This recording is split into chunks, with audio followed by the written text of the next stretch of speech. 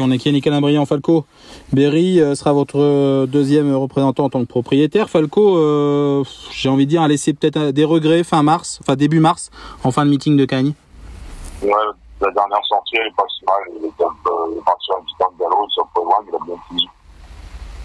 Là, la tâche est compliquée, mais il a pas plus d'engagement que ça.